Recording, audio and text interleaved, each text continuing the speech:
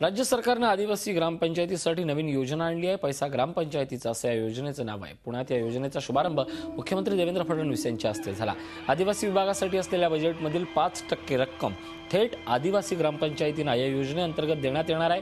तसंच हा निधी खर्च करण्यासाठी ग्रामपंचायतींना प्रशासकीय मान्यता किंवा इतर शासकीय मान्यता घ्यावा लागणार नाहीत. फक्त ग्रामसभेच्या मान्यतेनं थेट मिळणारा हा निधी आदिवासी ग्रामपंचायतींना खर्च करता येणार आहे. या योजनेअंतर्गत काही प्रातिनिधिक धनादेश मुख्यमंत्र्यांच्या हस्ते वाटण्यात आले.